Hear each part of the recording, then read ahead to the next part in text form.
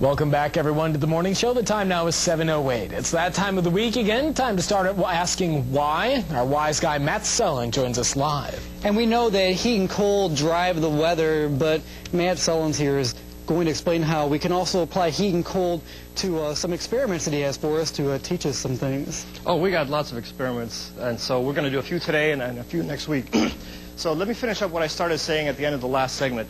What I have here is this uh, bucket of liquid nitrogen, and it's very cold stuff. It's, it's colder than 300 degrees below. And so um, the, the, reason things conduct heat is very similar to the reason they conduct uh, electricity. It's because you have uh, the atoms and the electrons specifically that can move around. So in a metal, the electrons can move a lot better than they can in, uh, in an insulator. So typically metals conduct heat also much better. And so you can see that here. Uh, the copper, which is uh, very, very cold, gets really, really frosty.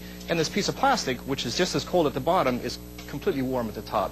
So that's, that's a very good insulator. Now, what I have over here is a, an excellent insulator. If you look at this thing, it looks kind of interesting. And this actually came off the bottom of a space shuttle that has hmm. actually been up in space and landed a few times. And if you've seen these things come in and land, you'll know that the bottom of these space shuttles get red hot, yet the astronauts inside don't get cooked.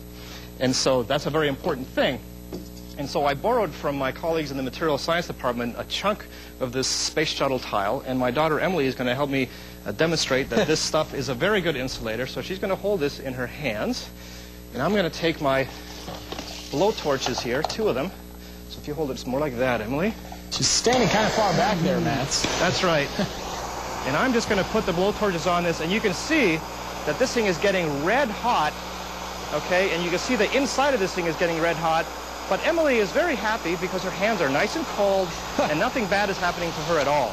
And I could hold this thing on here all day long. Basically, when you see something that's orange hot like that, it's about 1,500 to 2,000 degrees in temperature, and only an inch away, it's nice and cold on her hands.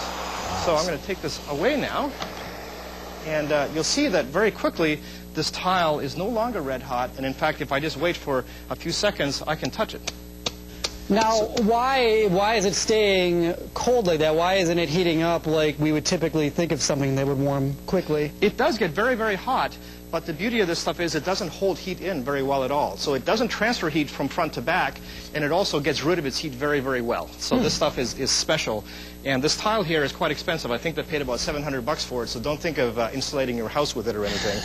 But, wow. uh, but anyways, before we leave, I have uh, last week, I asked the question, uh, what's the best color to paint your house in the winter?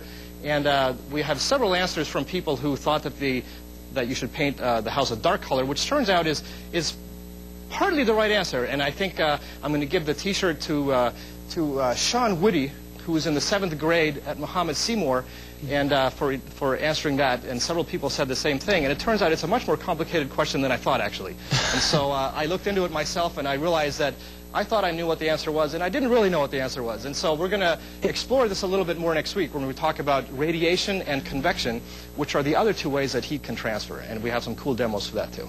All right, that, sounds, that sounds really good. Thanks a lot for joining us here this morning. Well, thanks for having me. Thanks, Matt. Your weather on the threes is straight ahead, but first, if you have any questions,